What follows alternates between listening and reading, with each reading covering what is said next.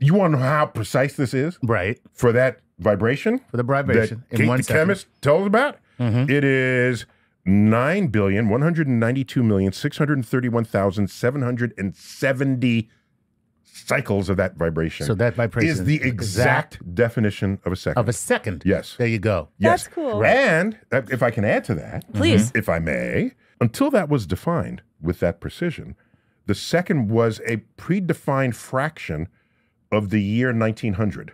Okay. And so that involved Earth's rotation, rotation, around right, the thing. right. The rotation of the Earth was built into the definition of the second. Why wouldn't it be? Right. Because there's 60 Since we seconds. use that as the- 60 seconds in a minute, to 60 make up the minutes in an hour, 24 hour 24 clock. Okay, why wouldn't it be? Right. Why wouldn't But it? But that meant if Earth were slowing down or speeding up, right. there'd be no way to know that Exactly. because the mechanism that's giving you the second is changing. Right. So you offload it onto your cesium atom. Mm-hmm. Now, we say, "Yo, Earth, What? what?" And so since we, We don't sta- need you, Earth. we totally don't. We need don't you. need Not only that, you're acting up. Right. So since 19, Plus, you're slowing down anyway. since 1972, we've had to add 20 some five seven leap seconds, Right. just to account for Earth slowing down. And it's all because of your cesium atom. And that, Isn't look that at neat? that.